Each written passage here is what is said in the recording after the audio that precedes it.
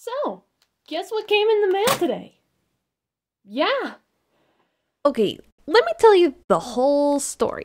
So I'm browsing through Twitter and I find a tweet that went along the lines of Hatsune Miku V2 for sale on Yahoo Japan auctions for $3! I don't care if she won't run on my computer. I need her now! It's a piece of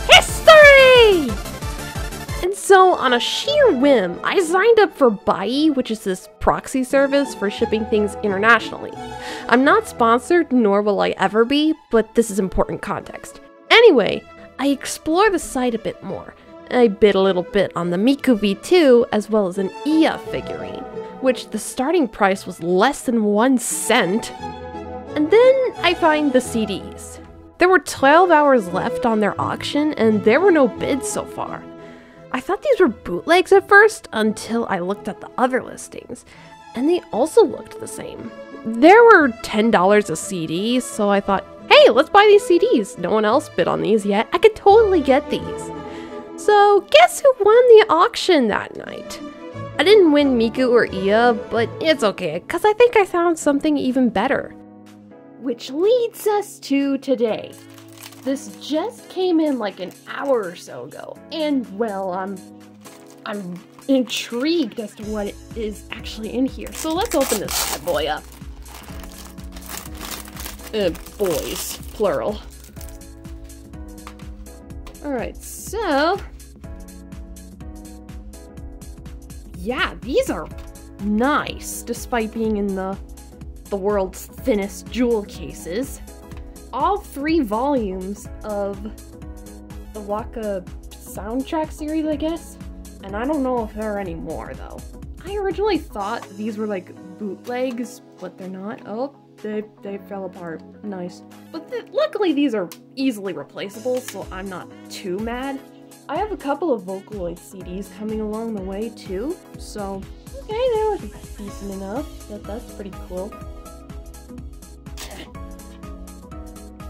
If only you saw my setup right now. I am in extreme pain right now. Yeah, unrelated, but I'm short on money right now, so to save, I stacked up a lot of books on my laundry hamper, along with a phone stand and a bank held together by tape.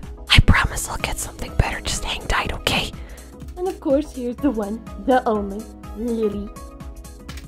AKA Best Girl. Now that we've analyzed all these, why don't we hear them for a bit, hmm? Alright. Of course, as I'm picking these up, they're all falling apart at the seams, but whatever. So to properly test these all out, I have a Bluetooth speaker, this Walkman here, and, um, oh yeah, an AUX cord. Because this thing doesn't have its own speaker, I mean, why would you expect it to? Alright. Let's set things up, and then we can truly test these things out. In you go. Okay.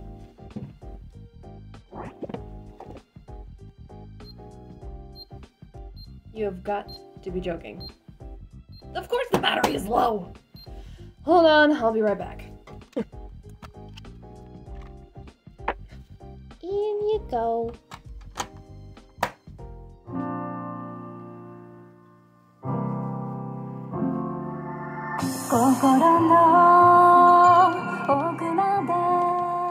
Alright, so it seems to be working pretty good. Not bad, not bad at all. I noticed that a lot of these CDs don't have a ton of songs on them, but that's fine. I mean, I don't expect them to. And of course, there are the full versions of Let You Dive and With You, which means my money from the iTunes store has been worthless but it's okay. It doesn't matter. But yeah, these CDs are pretty good. I, I am very happy with this. This is good. I don't know how to end this video. but I, future me, do know how to end this video. I've had a love for CDs for a long, long time. I've always liked collecting them and listening to them in the car because, Lord knows, I have a burning hate for subscriptions of any kind. Plus, you never know if a song on Spotify gets removed for copyright or it becomes unlistenable in your country for some other bullshit reason. And to find physical media from my favorite games or movies will always be a win to me. I mean, how else did I get my three Digital Star CDs, hmm? Because I totally didn't get them at FYE at my local mall. I would want to make a video about my CDs and talk about them, but honestly, who would care? Oh well, it doesn't matter. Thank you for watching till the end. Uh, like and subscribe? I don't know, man. Why would I care?